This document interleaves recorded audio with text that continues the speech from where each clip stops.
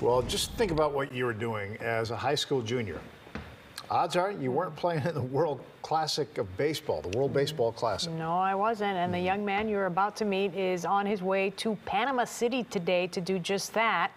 Patrick Elwood is here with more on Amaan Khan. Yeah, show of hands. I wasn't, wasn't playing No, that not either, even right? close, Doing yeah. anything, yeah. Baseball is said to be America's favorite pastime, but the game continues to grow exponentially across the globe. Enter a local high school junior, Amaan Khan, who just punched his ticket to the World Baseball Classic, pitching for his ancestral homeland of Pakistan. He's just a high school junior, but Amaan Khan is about to take his place on the global athletic stage. Really excited. Uh, it's been like the past like two months. It's kind of like been like the only thing on my mind. Khan is about to play in the World Baseball Classic in a qualifying round in Panama. He'll play for the country of his ancestors, the Pakistan national team. The Lane Tech athlete is only one of three high schoolers on the squad, which also includes players from the minor league pro system and colleges too. He's pumped. Baseball is and always has been his game. I grew up on baseball since I've been like two, three, four. His proud papa will be making the trip with him. And you bet the whole extended family will be watching from afar. Amaan's grandparents were born in Pakistan. super excited, really proud. Um, both of them born and raised in Pakistan, so uh, they're really, really excited. Dad says the two had watched the World Baseball Classic in 2017 when Pakistan played last. The team went 0 2, but the seed was planted. And as Amaan progressed, playing for Lane's junior varsity squad and then the elite travel team, things started happening. It just happened kind of organic.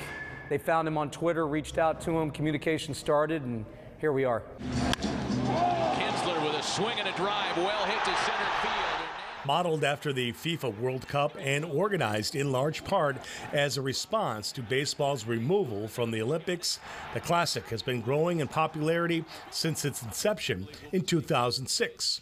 Travel coach Chris Tierney knows Amaan is one of the youngest players, but he believes he's ready. It's a super exciting situation. He's he's definitely worked hard for it. So um, I think it's a once in a lifetime opportunity, and he's ready for the challenge. For his part, Amaan says most of his youth he played catcher, but in the last couple of years he switched from the plate to the mound. So, what you got, kid?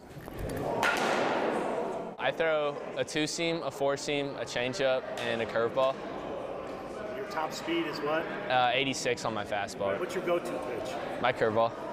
I like it a lot. Dad and Amaan leave for Panama today, but before they did, I had to ask what everybody here in Chicago wants to know. Here's the most important question of the interview. Are you a White Sox fan or a Cubs fan? I'm a Cardinal fan. Whoa! I'm a Cardinal fan. That's not a right field. How did you become a Cardinal fan? Uh, born in St. Louis. My dad's born and raised St. Louis, so still Cardinal fans. Didn't see that coming. Pakistan takes on Argentina at 7 p.m. Friday night in Panama City, Panama, the country, Yeah. not in Florida.